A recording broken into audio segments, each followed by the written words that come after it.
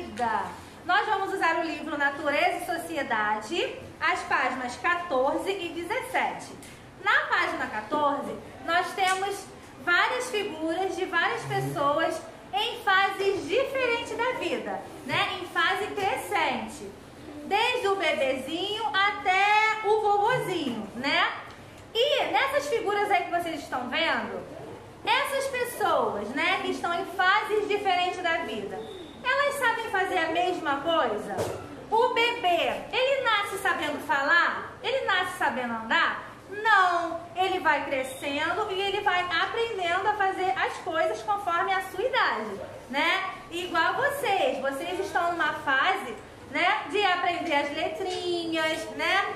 E estão crescendo. Ano que vem vamos pro primeiro ano, vão aprender a ler as palavras. Olha que legal!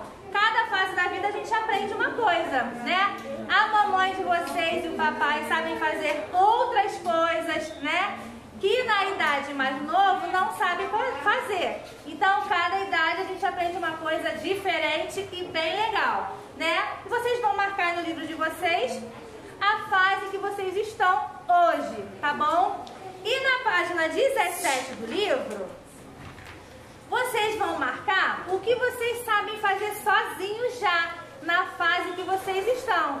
Né? Por exemplo, trocar de roupa, né? comer sozinho. Se vocês sabem tomar banho, andar de bicicleta, vocês vão marcar no livro de vocês, tá? Mas só o que vocês sabem fazer sozinhos, tá bom?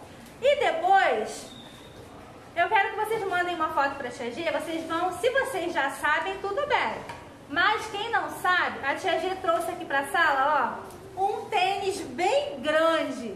E nós vamos aprender a amarrar o sapato aqui na escola. E você aí na sua casa também. Pede para a mamãe te ensinar a amarrar o cadarço. E aí você manda foto ou vídeo para a tia G mostrando que você aprendeu a amarrar seu cadarço sozinho. Tá bom? Um beijo